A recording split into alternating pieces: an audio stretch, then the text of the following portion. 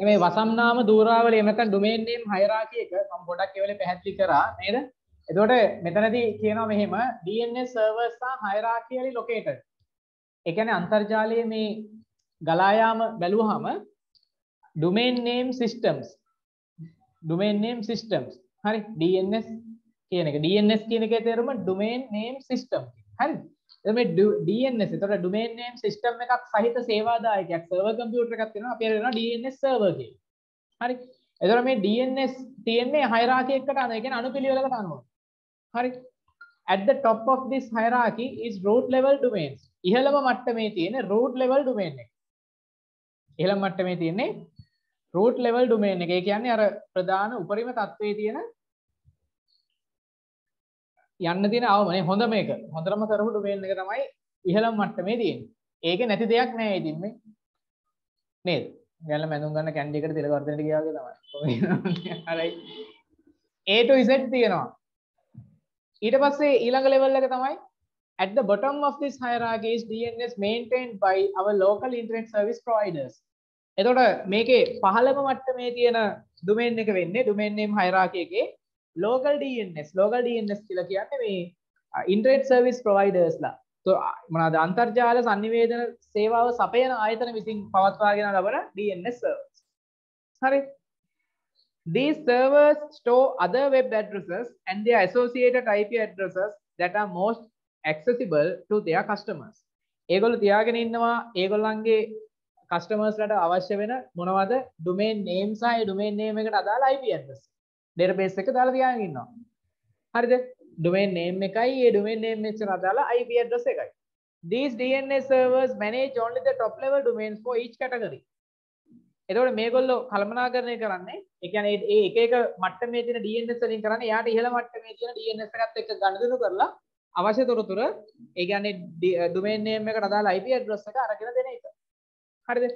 එතකොට මතක තියාගන්න මේ domain name එක හොයාගන්න විදිහ අපි වෙබ් බ්‍රවුසර් එකෙන් URL එකක් ටයිප් කරලා එන්ටර් කරාට පස්සේ මේක අපිට අපිට පේන්නෙත් නෑ ඇත්තටම මෙහෙම දෙයක් වෙනවා කියලා. ක්ෂණිකව යනවනේ මේ සයිට් එකට නේ. ආ ඒ යන්නේ ඒක බොහොම වේගෙන් දත්ත සම්ප්‍රේෂණය sannivedanaya වෙන නිසා බොහොම ඉක්මනට DNS එකක් පාවිච්චි කරලා ගොඩක් වෙලාවට අපිට ඕනේ වෙබ්සයිට්ස් ඔය කෑෂ් කරලා තියාගෙන ඉන්න නිසා local DNS වලින් ටක් ගාලා යම්කිසි DNS domain name එකකට අදාළව තොරතුරු ටික අපිට ගෙනල්ලා දෙනවා ටක් ගාලා. අර බොහොම කලාතුරකින් නිතර පාවිච්චි වෙන්නේ නැති domain එක ගත්තොත් තමයි වෙලා යන්නේ. load වෙන්න ටිකක් වෙලා යන්නේ. හරිද? ආ එතකොට මෙන්න මේ domain name hierarchy එකට අනුව තමයි domain names ටික පෙළ ගැහිලා තියෙන්නේ. එතකොට අපි මෙතන කතා කරගෙන ආවා URL එක කියන්නේ මොකක්ද කියන එක කතා කරගෙන ආවා URL එකේ තියෙන කොටස් ගැන කතා කරා මම හිතුවා කොටස් ටික පැහැදිලි ඇති කියලා කට්ටියට ඊට පස්සේ domain name එක කියන්නේ මොකද්ද domain name එක අපි කොටස් කරන්නේ කොහොමද කියලා domain name එක ඊට පස්සේ upper domain lower domain domain type එක අඳුනගන්න විදිය හරි ඊට පස්සේ ඒ domain type එක අන්තර්ජාතික නැත්නම් internationally categorize කරලා තියෙන විදිහ බෙදලා තියෙන විදිහ මොකක්ද? ඒ තියෙන හේතු මොනවද? බෙදන්න හේතු වෙච්ච සාධක මොනවද? හරි. අන්න ඒක ගැන කතා කරා. ඊළඟට අපි කතා කරා වසම්නාම දූරාවලිය ගැන තමයි දැන් අවසානට කතා කරේ. ඒ කියන්නේ domain names ටික තියෙන hierarchy එක මොකක්ද? domain names ටික තියෙන්නේ මොන hierarchy මොන අනුපිළිවෙලින්ද තියෙන්නේ. ඒතර ඒ අනුපිළිවෙලින් තමයි මේකට access කරන්නේ. හරි. ඊළඟට domain name system domain name system එක. ඒතර ඔය domain names දැන් URL එකේ තියෙනවා domain names ටික. ඒ domain names වර්ග වෙන හැටි hierarchy බලමු. දැන් අපි බලමු domain name system එක. හරි. DNS provides directly lookup service for given URL and the web addresses. Web address එක එහෙම නැත්නම් URL එක තියෙන DN domain name එක මොකක්ද කියලා සෙවීම හොයා ගැනීම කරන සිස්ටම් එකට අපි කියන domain name system එක කියලා. දැන් මේක එදා මම පැහැදිලි කරපු ස්ලයිඩ් එක. අන්තිමට අපි පැහැදිලි කරපු එක. දැන් එදා කිව්වට තේරෙන්නේ නැහැ. දැන් තමයි තේරෙන්නේ. හරි. DNS provides directly lookup service for given URL and web address. අපි අපි දෙන web address එකක් එහෙම නැත්නම් URL එකට අදාළව මෙයා කෙලින්ම බලනවා මේ මොකද්ද අදාළ වෙන IP address එක කියලා. The HTTP protocol uses the services of DNS to identify the matching web address of given URL. අපි දීලා තියෙන URL එකට අදාළ web address එක. ඒ කියන්නේ IP address එක හොයාගන්න HTTP ප්‍රොටෝකෝල් එකකින් මේ හොයලා තියෙන URL එකට අදාළ IP address එක මොකක්ද කියලා හොයාගන්න එක කරන්නේ DNS එකේ domain name system එකේ The Hypertext Transfer Protocol is an application layer protocol for distributed collaborative and hypermedia information systems. HTTP කියලා කියන්නේ Hypertext Transfer Protocol කියලා කියන්නේ මේ application layer protocol එකක්. Application layer කියන්නේ ඉහළම මට්ටමේ නේ? මේ පළ හත්වෙනි මට්ටමේ. අපි කතා කරන්නේ මේ අර මට්ට මොනවාද layers හතක ආකෘතියක් තියෙනවා කියලා කතා කරනවා ආකෘතිය කතා කරේ නෑ. ලෙවල් හතක networking architecture එක තියෙන level හතක OSI 7 layer model එකක් තියෙනවා කියලා කතා කරා. ඒ model එකේ පල්ලෙහාම තියෙන භෞතික ස්තරය physical layer එක දෙවනියට තියෙන්නේ data link layer එක දත්ත සන්ධාන ස්තරය තුන්වෙනි එක ජාල ජාල කරන ස්තරය network layer එක හතරවෙනි එක transport layer ප්‍රවාහන ස්තරය පහ session layer සැසි ස්තරය හය presentation layer එක සමර්පණ ස්තරය හත application layer එක යෙදවුම් ස්තරය. හරි. එතකොට ඔන්න ওই විදිහට ස්තර හතකින් තියෙනවා අපි ඒ ස්තර හතේ වීව් එක අපි කතා කරේ නෑ තාම.